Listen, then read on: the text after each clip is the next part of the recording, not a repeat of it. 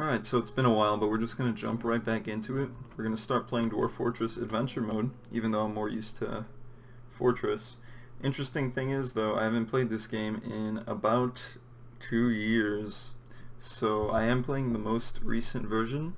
So the other thing is, we're going to play a human, demigod of course, but we're going to play as an outsider because I've never done that before. So for stat allocation, we're going to do strength, we're going to do agility, we're going to do above or high toughness, above average endurance, and then we're going to do some spatial sense. Okay, we're going to put some points into proficient spearman because outsiders always start with a dagger and a spear. So we're going to be a proficient spearman, proficient knife user. We're going to put uh, fighter up to proficient as well because that's nice in general when it comes to combat. We're going to put a point into observer. We're going to be uh, competent, skilled dodger. Let's go with skilled here. And thrower, of course. You know, I'm partial to throwing weapons. And just in case we find some interesting thing that we want to use as a pseudo weapon, we'll put a point into misc object user. Alright. So, we are going to just randomize these names here until we find something interesting. Uh, hand flex, uh, heavy dance, not really a fan of that either. Grind shame, nope. So, the reason I wanted to play an outsider, other than obviously the role-playing aspects, you know, I like to self-insert into my character, which is why I'm playing as an outsider, which is also why we should be a human male instead. Um, but I like the difficulty with coming in, or I like the, the idea of having to find all of your equipment and, and whatnot, which uh, is why when I play like Dark Souls, for example, I really like playing a deprived or depraved or whatever they're called, because they pretty much just start out completely naked. Alright, so we're going to give it five more tries. One, two, three, four, five. Don't like fleshy dawn, that's not a good one. Let's do five more. One, two, three, four, five, one. Ring vines is fine, okay. So let's change our background a bit, because we want to start in hmm, maybe not a camp or a town. We don't want to start in a town. Uh, well, we can yeah, let's go ahead and start in this town right here. Or do we want to start in this hamlet? That's quite a difference in terms of... Because this town, if you look on the little mini-map, is pretty much on the coast right here, and this hamlet is like in some river, riverlands. I think from a role-playing perspective, uh, makes more sense that a human outsider would come out of these mountains right here, these jungles, and into the hamlet instead of just kind of showing up in in this huge town. Alright, so let's randomize the appearance again. Alright, his sparse hair is extremely long, he is muscular, broad nose, that's extremely long, high cheekbones, high voice. I don't like that. Not no high voice. Um, his hair is extremely long, muscular, broad chin. We're getting the muscular description just because we put all those points into strength. Interesting thing too is when you're uh, when you're an outsider and you're considered naked, putting more points into strength actually kind of gives you a slight advantage in terms of armor because uh, it provides a very thin armor layer. Uh, let's see. Let's do one, two, three, four, five. Alright.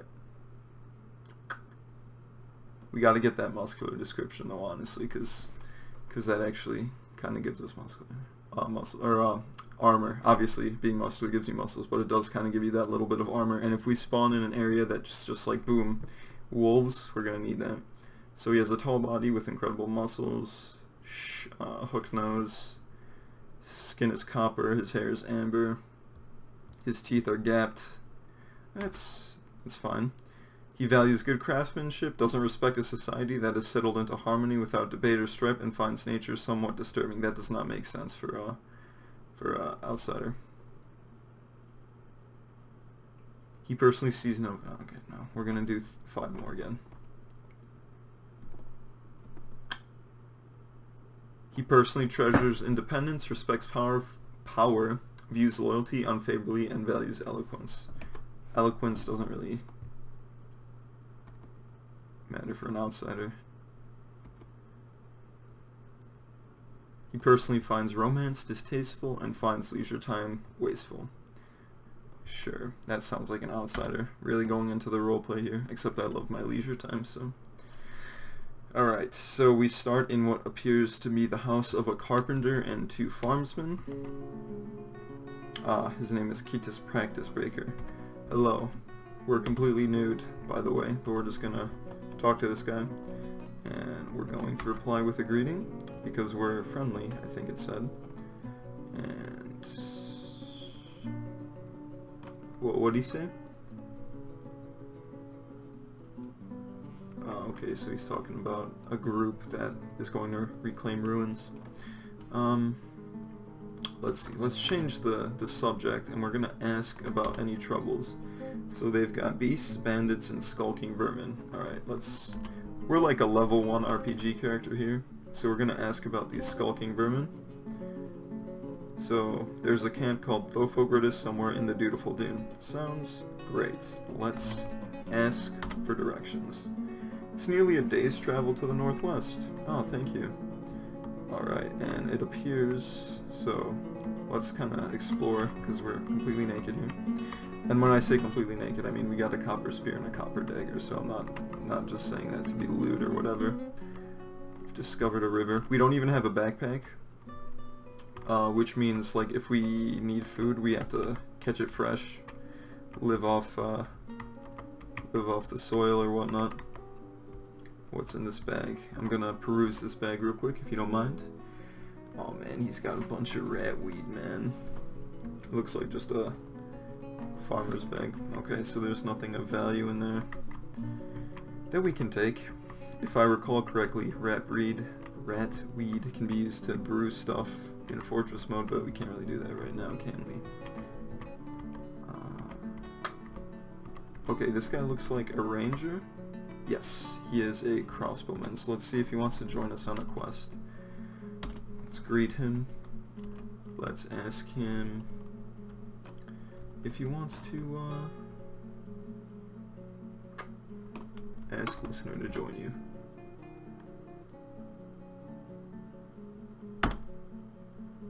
I will agree to travel to you if you lead me to glory and death. Well, if uh, any of my previous adventures uh, say anything, it's usually the the latter. So, I hope uh, hope you don't die, buddy. Um, okay, and we're still completely naked, just walking around town. So this crossbowman, I'm not sure if we should be excited that he kind of just accepted our quest, because he might be insane. There's a beautiful cliff right here, too. Oh, it's actually a waterfall. I believe, yeah. That'd be a neat little place to start a fortress. So, we're just going to travel up north to deal with these... Up northwest, I believe. Let me check this. Yeah, so there's the, uh, the camp up there. So let's go ahead and fast travel up there. Oh, we should cross the bridge while we can, so we don't have to deal with that water later on. And I believe that's already the camp right there. So I'm going to try to keep this episode short just because it's uh, a new series, and like I said, it's been a minute since I uploaded something, but let's just dive right into this camp. Uh, by skulking vermin, I'm assuming that means kobolds, so it shouldn't be too difficult to fight. Oh, we actually discovered a volcano. Okay, that's what that was. Yeah, we're actually nowhere near the, uh... Well, I shouldn't say nowhere near. We're fairly close to the, uh, to the site, but let's just keep fast traveling. That was neat, though. That has to be the camp, because it's, like, just straight up centered in the mountains. Oh, no, just, just another volcano. This world would be perfect for fortress mode. At some point. Some point, guys, I'll get back into it. Uh, but we're gonna keep on heading north. I don't like how quiet it is either. Fortress mode usually has the guitar playing and it's pretty pretty quiet, or pretty repetitive, but at least it's something. Alright, so We're gonna climb up this tree if I remember how to do that. Because it's about to be night. Nope, that's just talking about fire. We actually need to find something to eat because we're hungry and thirsty, so let's do that real quick. I believe there's a river here. What is this? What is this? An eagle? I love eagle meat food. Let's go ahead and start conflict with uh, this eagle. And yes, I did just say I love eagle food. So we're gonna stab it just in the in the body right there, and it's gonna get propelled away by the force of the blow. We discovered a river, that's perfect because we need to drink something too. Eagle slams into the obstacle, which I assume is just the ground, and we're just gonna slash him with the copper dagger, tearing apart the liver, and it's gonna give into the pain. We struck it down. Let's butcher its mutilated corpse. And we can only take... Oh, I didn't want to take the bone. Let's throw the bone out. We need to take some of this meat, and we're going to take two. We're going to eat the eagle meat, and then we're going to drink from this river. And we're going to sleep out in the open, if I remember how to do that. We're going to sleep until dawn, and hopefully we don't get attacked by whatever that thing is that was just walking around. Oh, it's coming to us. Or it was coming to us. Maybe we uh, got lucky drink more of this water, and then we're still hungry, but pretty sure this food has rotten. Oh no, it's still good. So let's take two more. Let's eat two more. And fast travel again. You know what? I'm more interested in seeing what this little speck is. I'm pretty sure that's a... You know what? Actually, no. That might kill us.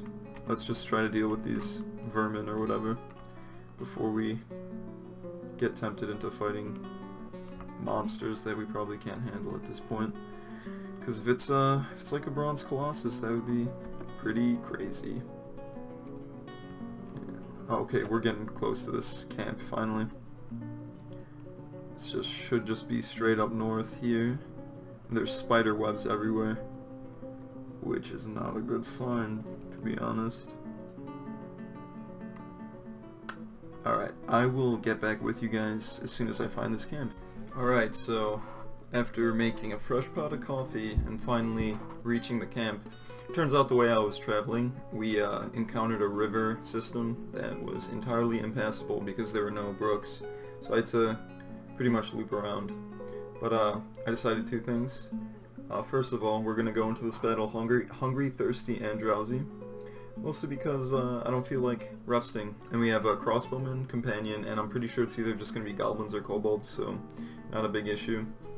Second thing is, uh, this, uh, this has been awkwardly quiet, like, ominously quiet even, to the point where it, like, kind of reminds me of, like, any first date I've had.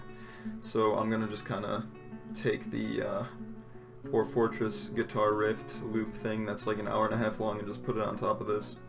But back to the goblins, I already see there's one up here. Let's see. Oh, it's a big kobold wrestler, actually. So yeah, kobold shouldn't be any issue. Um, let's go ahead and uh, talk to him to uh, inspire some fear into him. Uh, we're going to... Let's see. Is he attacking us already? going to brag about your past violent actions. Yes, I have taken down one armadillo while stalking the Tempted Hill. Okay, so not exactly um, terrifying, but we're gonna start a conflict with this kobold wrestler. We're gonna strike him. Well, he's a wrestler, so that means his arms are probably gonna be the most dangerous. I keep forgetting to draw my equipment. So since he's a wrestler, that probably means his arms are gonna be his primary method of attack, so we're going to try to slash those off. Alright, so we cut his arm off already, so we're entering the combat fairly well prepared. So we're gonna do the same thing with his other arm. Oh, he moved out of range though. And he's bleeding out pretty heavily. And he's sprinting away too. Damn, he's booking it. He's probably trying to go get his friends if he doesn't bleed out on the way there. I mean, I can kind of track him just by following the blood, which is pretty grisly. And he took off. I didn't know kobolds were so fast. Also, if this is a camp, why is there only one of you? That's what's most disappointing. I was expecting there to be a... Oh, we collapsed because of overexertion. Okay. Let's uh, try to stand up. Let's go back to walking, just because that goblin just took off for no reason. That was disappointing. Especially since this is a camp, so I expected, you know, a couple of them. Um, what are these? Are those ravens? Oh, there's the shadows of kobolds out there. Let's see what they have in these sacks, though, real quick. Alright, so silver arrows, silver coins. You got gauntlets. I can use gauntlets. A bronze mail shirt. It's pretty decent. What about in here? Copper pike. Some gloves, a tunic, silver arrows again. And in here you got copper helm. I will take that. So we'll take the copper helm. What else we got in here? We got a pair of trousers. We'll take those. Let's go ahead and wear the helm. We'll wear the trousers. So we're wearing pants and helmet. So we're a little bit less savage than before. Let's take this robe as well. Oh, I don't want to lick the robe. I want to wear the robe. Were there gloves? Or shoes, I mean? A bronze mail shirt. That is pretty good as well.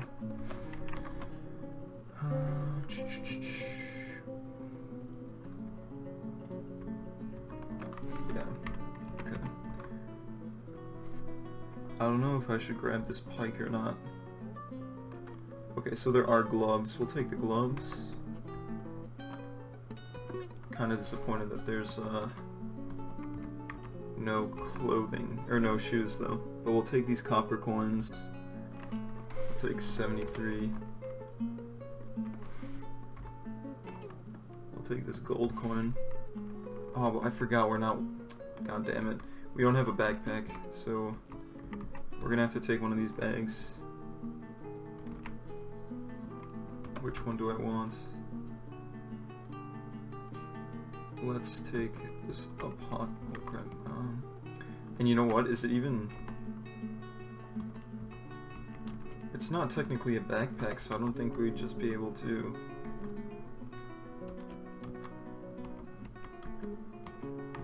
Just like, kind of have it around. That kind of sucks. Oh, a hemp cape, we'll take that for sure. What else you got in here?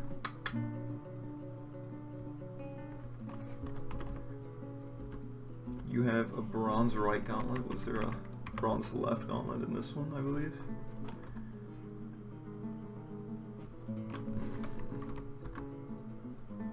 Yeah, there was. So we'll get this bronze left gauntlet, and we'll take the right one out of here.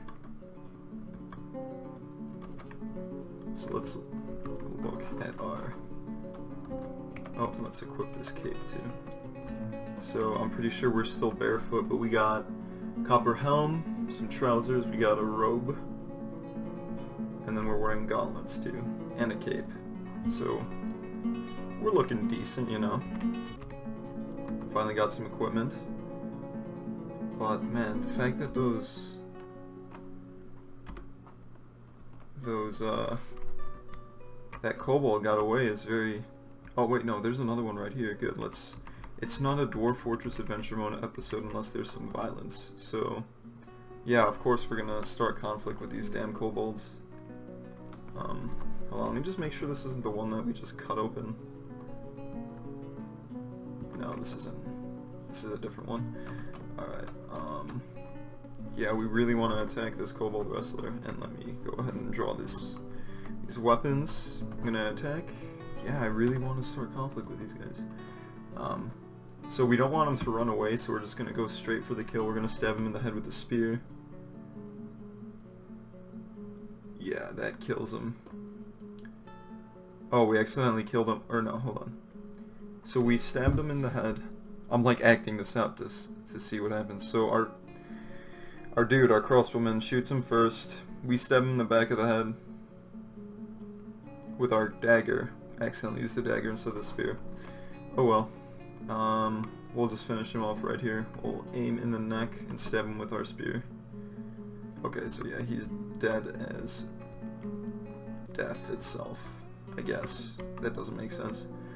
Alright, so that's one kobold down. The other one probably bled out somewhere, I'm thinking, because we cut off his damn arm. Pretty sure kobolds aren't the best at first aid. Uh, let's see, is that everyone? There's no way that could have been all of them. Two kobolds does not make a camp, in my mind. I was expecting, I was expecting to find a pack of five, at least, and have a proper encounter.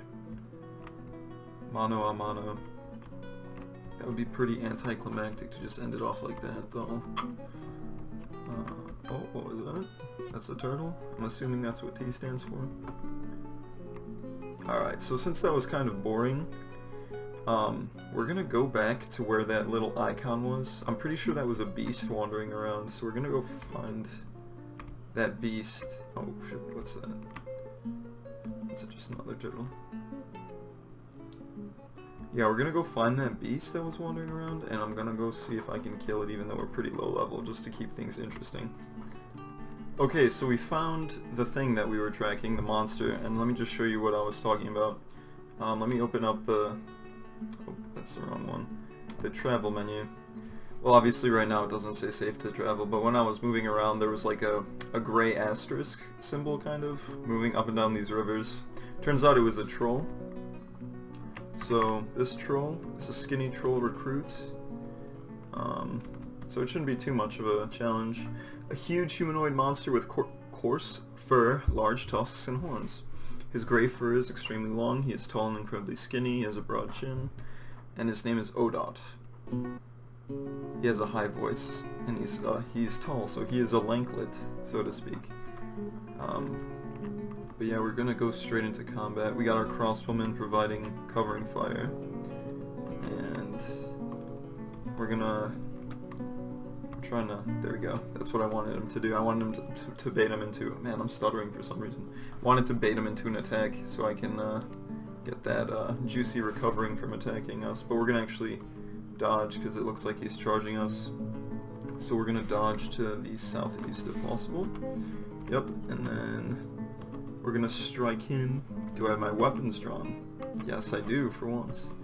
We're gonna strike him in... Let's see. I want to get a good hit in, but we don't have a lot of good options. Um, in the right upper leg, we're gonna slash him. So, the skinny troll recruit misses you. You slash the skinny troll recruit in the right upper leg with your dagger, fracturing the bone. Man, it's a hell of a slash.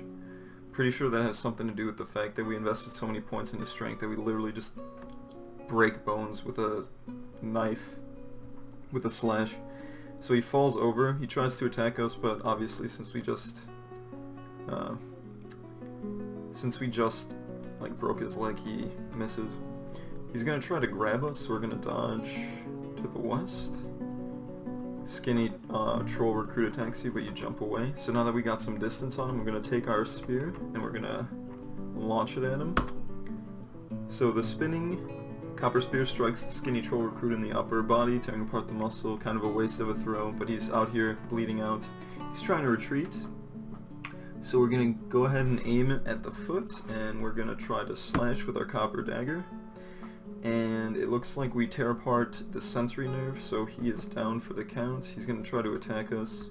We're going to dodge to the northwest. We do that successfully.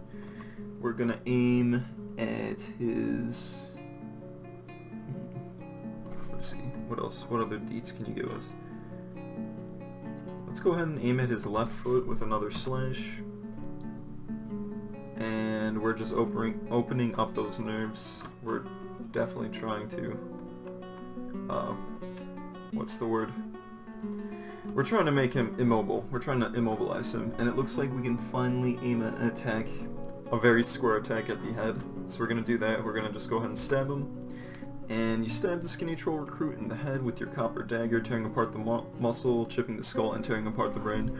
Did no troll's head brains though, am I right guys? Uh, he has been knocked unconscious, and he has been struck down. So we're going to pick up this Copper Spear doesn't look like he had anything to him that makes sense since he was a troll. And there's just a troll uh, troll corpse just kind of chilling right there. And let's uh, we're gonna end it off right there. It wasn't as exciting as I thought it'd be, but we got our first kills in, and I'm definitely gonna continue this. So let me know if you guys want to see more, and take care, my friends.